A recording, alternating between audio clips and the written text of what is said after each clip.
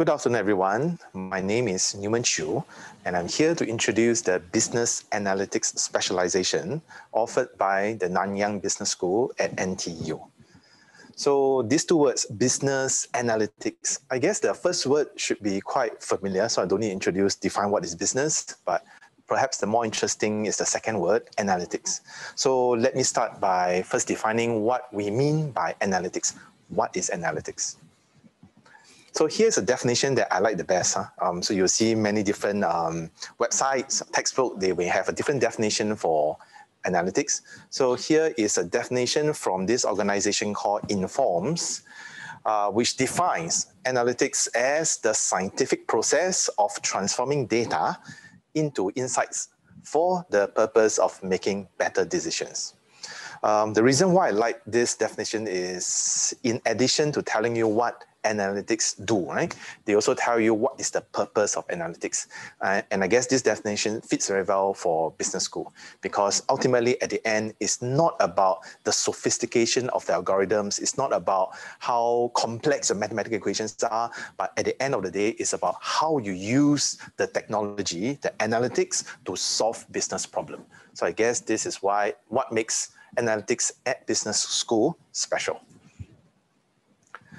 So here's a question that um, for you. What do the following organizations and individuals have in common? So here I've deliberately selected just uh, six uh, entities. It doesn't mean that this is the only six entities in the world uh, that does this, but I'm just selecting six. So on the top left, you have uh, Netflix, then Spotify, and then in Singapore, DBS Bank, US former former president uh, Grab, and of course our tax authority in Singapore, IRAS, what do they have in common? Okay, the answer, uh, of course, quite obviously ties in with the nature of the talk today. They all use analytics and they all use analytics critically to achieve their success in their work. Okay, so that is the key point. So next, I'd like to um, discuss what's the difference between analysis versus analytics. Uh, because typically we will do some analysis first before we proceed on to do analytics. So there is a distinction uh, between these two um, terminology. So in analysis, it's mainly for the purpose of reporting. So reporting about past performance, reporting what has happened, what has already happened, right? When it happened, and then trying to figure out why it happened and so on and so forth. So it's all about the past, the, his, the history, the historical past. So to describe and to explain what had happened, how it happened, why it happened, we typically depends on uh, simple statistics. You build things like uh, the average, the proportion, the ratios, uh, simple charts such as your scatter plots, uh, bar charts, whatever. Right? So these are the very um, simple and easy to understand um, methods and uh, techniques we use to explain the past. So some examples of the questions that we'll answer in analysis. How many persons were infected by the disease X last month? Okay. Uh, among those who are granted our bank loan last year, who did not pay back in full, including interest? Okay, so notice that these are questions that can be easily answered if you have the historical data. Okay. In contrast, how about analytics? What's the difference with analytics? Huh? So mainly for the purpose of planning planning meaning for the future. Okay, so what will most likely occur or happen in the future, most likely. Um, so to do that, we need to rely on more advanced uh, stats and more advanced models and techniques to be able to do some forecasting or prediction. Okay, examples of those questions that we will ask um, in analytics. How many persons will likely be infected with disease X next month if we do nothing? Or if we do social distancing, or if we close down the airport, etc., etc. So these are the various scenarios that we can run using our models to get a prediction about what's going to happen, what's likely to happen. Okay, and in terms of banks, this person applied for bank loan today. How likely will he be able to pay up in full? Okay, can you see the distinction between these two type of questions? Okay? And can you see how it affects you? Okay? Imagine you applying for a bank loan because you want to buy a new flat. So you submit application. Okay, so the bank will assess based on the information what is your risk, your credit risk. If it's, if it's acceptable, they will grant you the loan. If not, they will reject the loan and you won't be able to pay for the new flat. Okay, so this is how uh, influential or how important all these analytics techniques are, and it has it had already happened. So this is um, a true case reported in the New York Times in the year 2013. There is a judge when sentencing Mr. Eric Loomis to six years jail. The judge reportedly says he arrived at his sentencing decision right, in part because of Mr. Loomis's ratings in the COMPAS Analytics report that says he will have a high likelihood of committing another crime. So that's why, partially because of the information provided by analytics, the judge sentenced him to six years jail. Okay?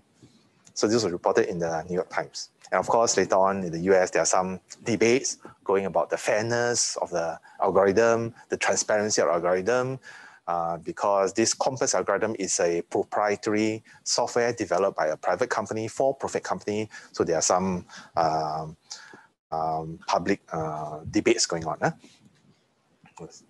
So in Singapore case, in Singapore government, um, uh, IRAS, uh, these are the two news uh, press release so first is in August 2016, IRAS told us they are investigating 43 individuals uh, suspected for committing uh, tax fraud on GST. Okay, um, and in 2019 Straits Times, IRAS told us that they actually use and they pick the companies and individuals for audit uh, because there are so many tax returns, right? How did they identify the, the shortlist? Using data analytics to identify those at risk of non-compliance or high risk of tax evasion. So um, we are familiar with this case because my previous company was the one who designed uh, one of the solutions to help them to identify potential tax evasions. So in case you are saying you're thinking that tax is something that you have not you have not uh, and you won't ever commit such a such a such thing, how about uh, hospital? Okay, A and E. Do you realize that analytics actually help the nurses at the A&E determine whether you, when you come to the A&E hospital, whether you must see the doctor now or within 15 minutes, or you can wait two hours or longer to see the doctor. So based on the symptoms, the nurse, unless it's a very clear-cut symptoms, the nurse will enter the, the symptoms into the computer. There's an analytics algorithm going on behind the scene, and they'll churn out a risk score, and they'll put you in one of the five categories. So based on the, the scoring system by the uh, analytics model. Okay, so there are a lot of different uh, models. So in the US, they will use the emergency severity index to calculate how serious you are in when you are presented with those symptoms in the emergency room.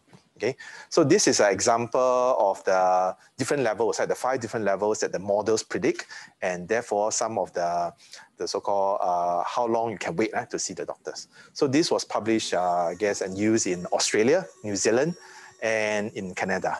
So I guess in Singapore case, for the non-urgent, uh, it may even be more than 130 minutes uh, for public, public hospital. So that's how uh, widespread analytics are and how it actually affects uh, so many people.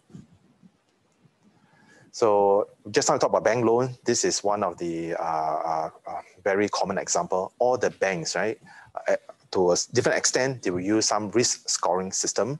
So to assess whether they want to grant you the loan or not. Okay, so this is a very, very common application. Same for insurance, insurance premium, right? If you want to purchase insurance, they will assess your information, assess your risk before they decide to charge how much premium and whether to even uh, want to insure you or not. So just now we talked about all the examples uh, by analytics, mainly from the risk perspective, right? So in addition to the risk perspective, uh, quite common, uh, um, uh, companies also use analytics as the strategy to pursue higher revenue, higher profit. One classic textbook example is Netflix. So I remember I first uh, presented Netflix case in Singapore more than 10 years ago. And at the time when I asked my workshop participants, um, um, uh, do you know who, who or what is Netflix? Nobody raised hand. Huh? I guess nowadays everyone knows uh, who is Netflix, what is Netflix, and what do they do, right? Basically, it's an online streaming movies and, and, and, and shows, right, that you can watch by paying a subscription. So um, so this is a textbook case because they primarily depend on their analytics model to recommend the right movies to the right person. Okay, and in fact, this is so critical, right, to their survival that they offer a one million dollar prize. Okay, in 2006, they offer one million dollar US prize to anyone in the world who can improve their prediction algorithm by at least 10% the first team to do that will win $1 million. Of course, at the end, you, uh, uh, uh, you, you must show them how, how your algorithm works so that they can incorporate that into their movie recommendation system. Okay, so it took three years. Huh? In the year 2009, finally, there's a team who developed an ensemble analytics model that combines different models to give a better prediction that is that exceeds the threshold of 10%. Okay, so when you come to my analytics class, we will have a more detailed discussion about this case study. Why 10%? What is the evaluation criteria to show that your algorithm actually works rather than just based on luck, just based on the random data set? So we'll discuss this in more depth when you attend and if you attend my class. Okay, so this is another case uh, closer to us in Singapore. Um, so this is a press release. DBS Bank saves millions per year by using analytics in operations. So I guess in this press release photo, uh, the man in pink, I don't have to introduce, you probably know who he is. So the man in the black suit who received the, the prize, right, from the, our prime minister. So he is actually uh, our very good friend because we, after we deliver this project, um, there is so so great a success and that he asked us to come back every almost every year right? To discuss and and, and brainstorm on other analytics project we can do for uh, DBS operations. So this is a, a very uh, uh, close at home uh, case study because our team is the one again who designed the analytics solution for them okay so again, if you come to my class, I will give you share uh, more information right, and about what happened during the, the case and what we did that actually generated the million dollar savings right, for DBS Bank. So in terms of the um, demand, right, market demand, there's a huge demand and not enough professionals, the, the, the truth is, especially experienced professionals. So the government agencies have sent um, uh, this signal right, very clearly. They tell us that data analytics is a critical uh, sector in the economy, projected to be to contribute at least one billion each year, and so on and so forth. So that's why so many universities are offering uh, analytics courses, right? Because we have so much demand, insufficient supply. This is another release, press release from a, a international global recruiter, headhunting company, Robert Walters, that tells you that the top jobs will be in data science, analytics, and so on in Singapore. Okay, for the uh, foreseeable future, even this, even though it's 2019, it's still very much uh, uh, uh present. So um, how do, where will you learn business analytics, right? Uh, this specialization in NBS. So in NBS, we actually offers uh, three programs. The single degree Bachelor in Business, which you can complete in three years. Uh, that has an option in uh, business analytics, uh, which you can choose after the end of the first year. Okay. We also offer a double degree for those who want to learn both accounting and business. So within the business itself, then you can select business analytics as a specialization. So a third popular choice is a double degree eh? between two different schools, one from uh, business school uh, and the other degree from the computer science or engineering, right? So that these students will be uh, very strong in both programming and also in the analytics. So that is the third possibility of pursuing business analytics. So the double degrees will have to take about four years, huh? four years to, to complete on average, four years to complete, whereas single degree is uh, three years. So what is special, right, about uh, business analytics in NBS, Okay, so uh, we take a very uh, contemporary modern view.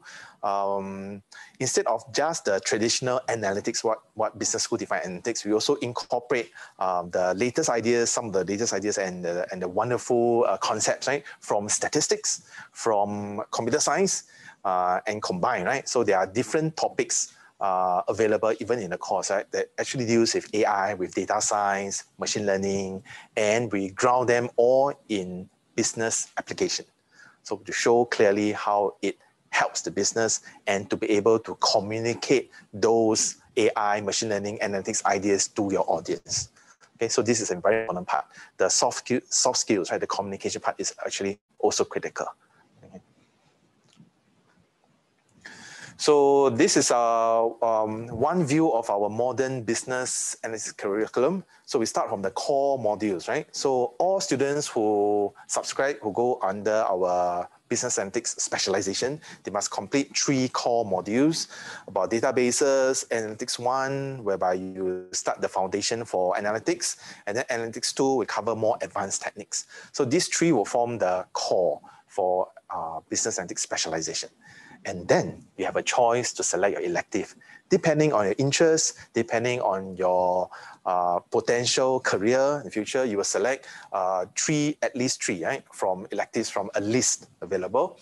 So things like AI and accounting and finance, things like business analytics consulting, uh, things like financial services, supply chain, and we recently just launched a new elective called the Programming for Business Transformation, right?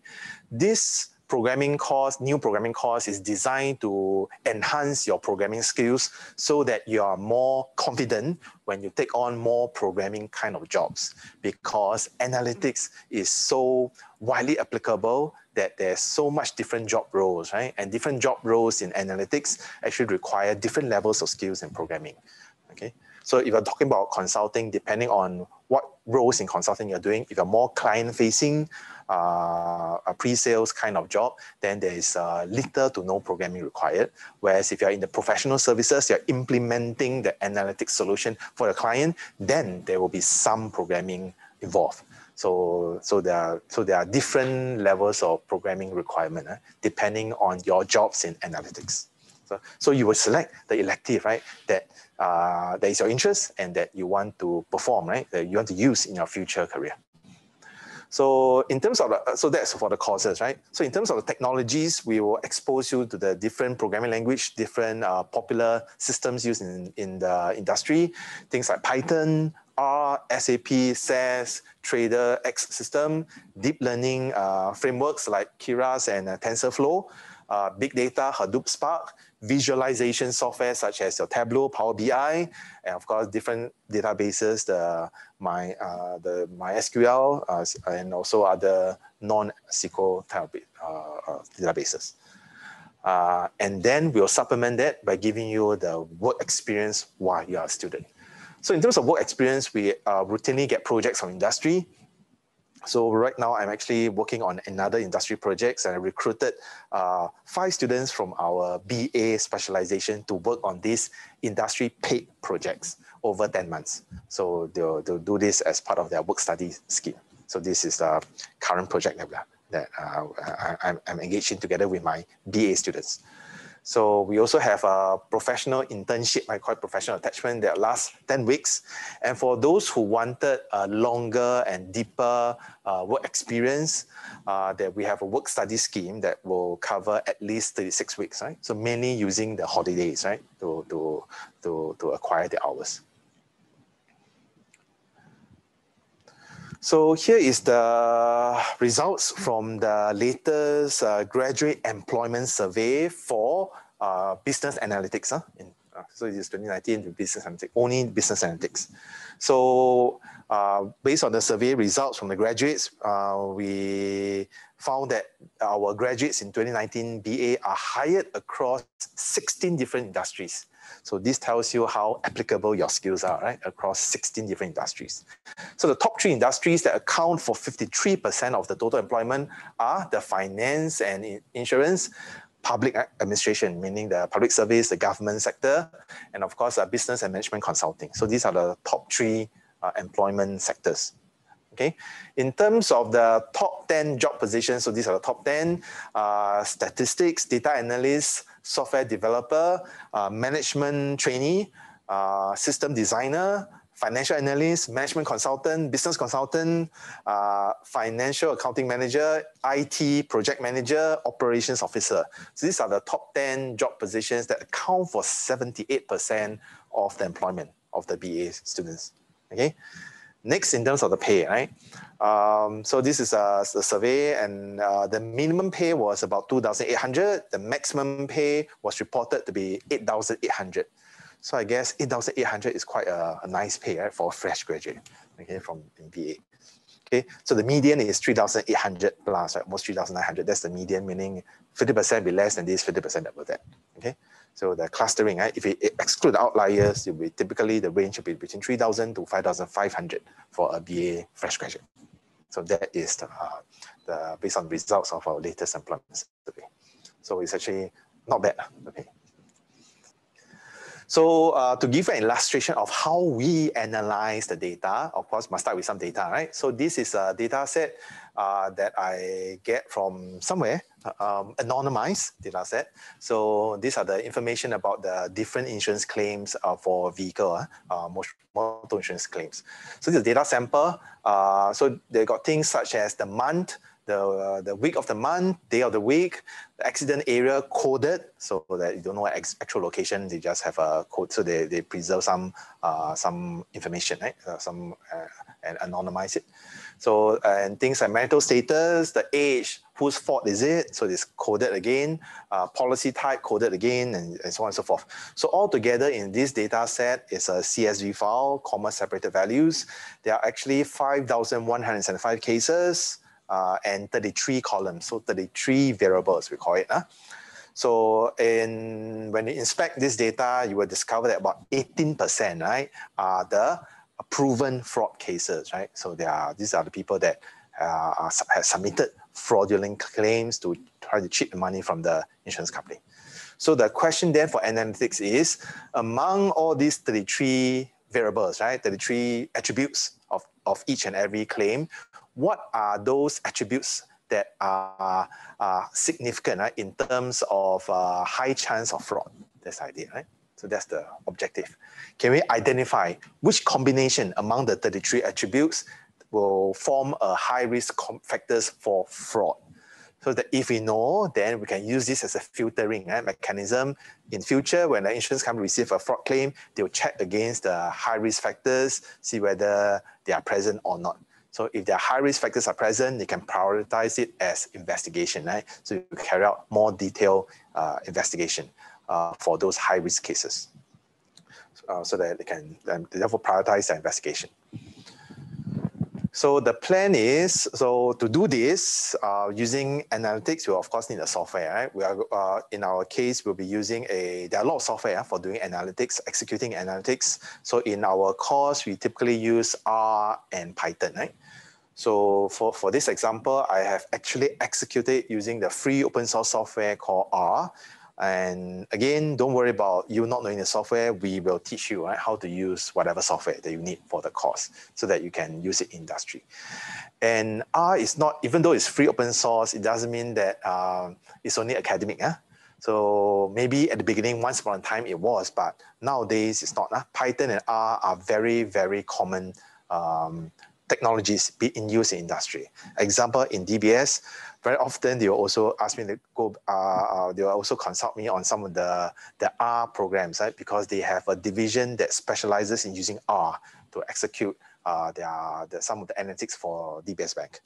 Um, if you have a chance to go to Accenture, which is one of the top four or five uh, consult, uh, consulting um, um, and accounting auditing company, if you go to their um, the office, right? Um, in uh, in City Hall, when you step in the office, you you're presented with a gallery or monitors whereby they showcase all the analytics work that Accenture do using R software. So these are some of the very important and very useful tools in use by industry. Okay.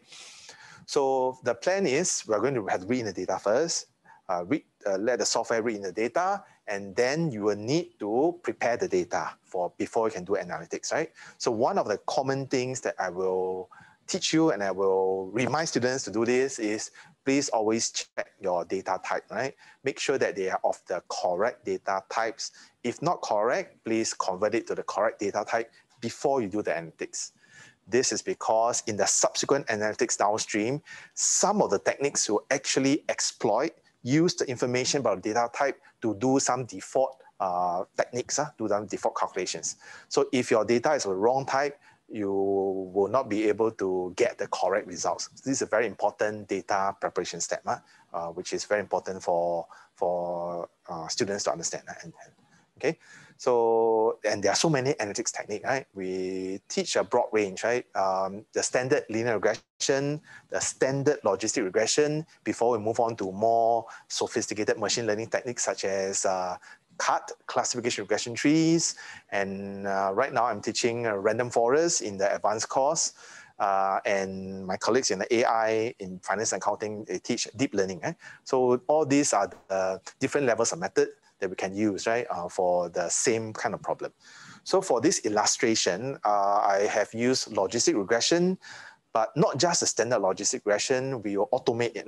So we'll automate the search for the high risk factors by using backward elimination. So all this can be done automatically, right? Uh, so that the algorithm can search through all the 5,000 plus data points, all the data variables to identify for you automatically the combination of high risk factors.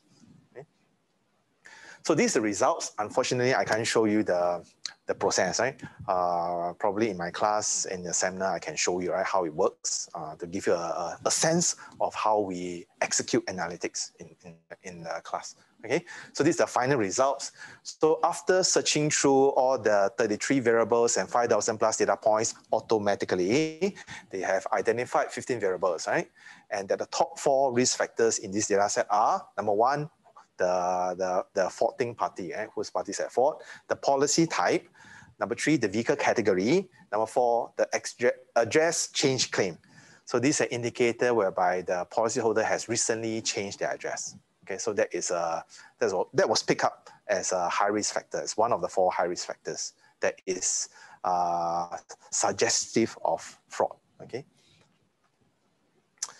So so that was the example uh, high level. So now let's come back, right? So why choose NBS Business Analytics specialization, right? So what is so special? So let's do a summary again. Uh, modern syllabus, we include topics not just in the traditional analytics, we include topics in data science, in machine learning, in AI, artificial intelligence. And these are taught by professors with uh, industry working experience. So it, uh, it's not just academic theory, but we will show you, right, uh, what to take note of when you apply those techniques in the real world and what are some of the, uh, what things are considered um, important by the industry, which is seldom mentioned in academic textbooks. Okay, so in other words, we know what your future employer is looking for. Okay, so uh, for our single degree, it can be done in three years. Double degree, of course, four years, but you get two degrees instead of one.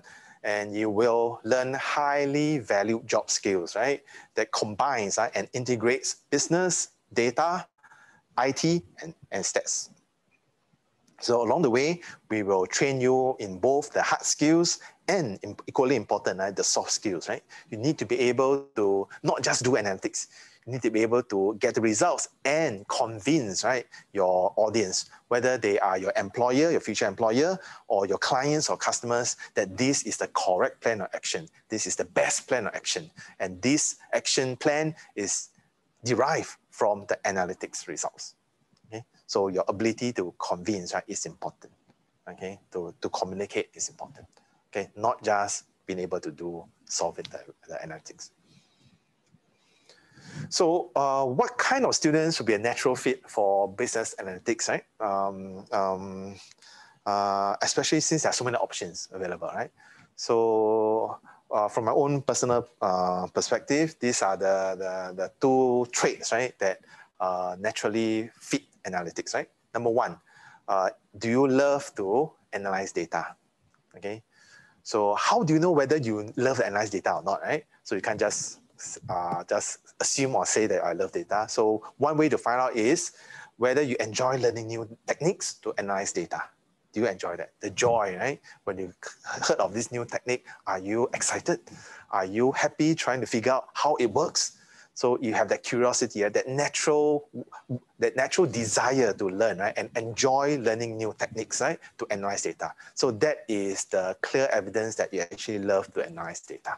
Okay, not just because you want to pass the exam, you want to score an A, but because there is this internal joy from analyzing, from learning new techniques to analyze data. So that is the, the trait that will make you very suitable to do analytics work. Okay. The secondly, of course, your inclination, right? When you make business decision, you prefer to base it on data and scientific reproducible analysis instead of just your just uh, a convenient shortcuts or just based on experience. Uh, so this is uh, another trait uh, about your preference for decision making that will make you a natural fit to in business analytics. So, and if you are, then we welcome you.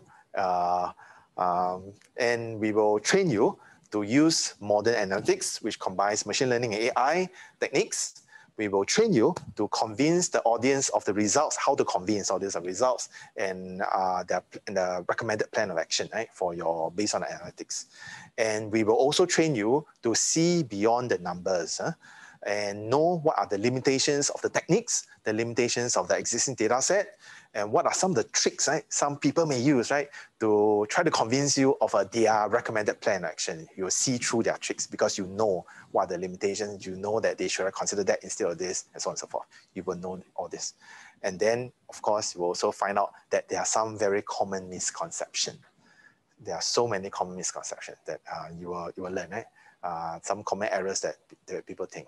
One simple example that I can think of offhand is the concept of correlation. So you probably have learned correlation from your previous stats course.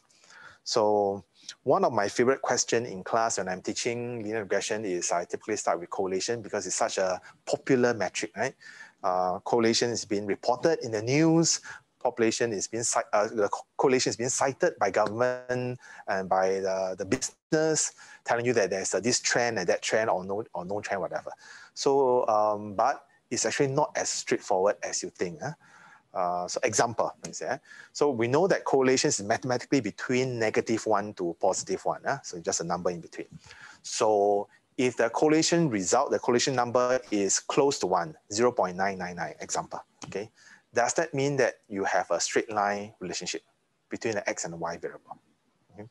Is there a straight line relationship if you have correlation close to one? Are you sure there is a straight line relationship? So we will, I will show you, right, that this is a very common misconception.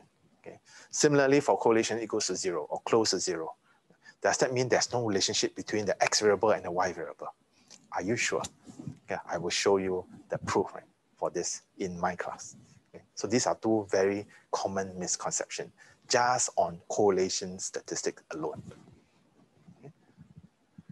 So we have learned right from this uh, talk and some of the real stories and uh, events that analytics and AI had already changed the way we live and work in the hospital, in banks, when they submit loans, um, even tax, uh, and, and even in courts, right, criminal justice, and, and so on. So many different areas and affected everyone's life. Okay, so do you want to be able to influence the change or lead some of the change, right, yourself in your future area of work. If you desire, if you want, and you have the, the, the natural inclination for business analytics kind of work, I will, will welcome you to join our specialization, our program, and I hope to see you in my class. Okay. That's all for my talk. Okay. So um, if there's any questions, I guess there's one common question because of a new development in our programs, right? We are launching a new second major in entrepreneurship. So one of the FAQ, right, from a student would be, uh, potential student is uh, how does entrepreneurship uh, applies, right, together with uh, BA, business analytics. And I can tell you that even though we, and you see a lot of huge success stories in the big companies such as Netflix, in the courts, in IRAS, government agencies, banks, DBS banks, actually, yeah, Netflix once upon a time is a very small startup. Okay, so it grew from a very small startup, basing on analytics as the key corporate strategy. They grew it to become a big MNC today. Okay, so therefore, even if you don't think that you want to join big companies or government agencies and just want to either join a startup or start your own company as an entrepreneur, BA is an excellent choice, right? Because it gives you the valuable skill set you can use to deliver your unique product, your unique services, okay, and to disrupt the industry, just like what Uber does, uh, what uh, Grab does, right, to the uh, ride industry. Okay. So I hope uh, for those who are interested in entrepreneurship, you will seriously consider BA as your business degree, whether it's a single degree or a double degree, even though the additional requirements for the additional second major in entrepreneurship may require you to spend one additional semester with us, but it is definitely worth it. So uh, in summary, BA applies, right? It's still useful, regardless of whether you want to join a big MNC, you want to join a government, or you want to go for NGO, do social good, or you want to start a company or join a startup. It is all equally useful and equally valuable. Okay, that's the that's the that's how uh, prevalent, how applicable, how relevant BA is, right? In the different industry sector, different kinds of jobs, different size of company. Okay, I hope that will clarify that student's question about the suitability of entrepreneurship as a second major for together with BA. Okay, thank you.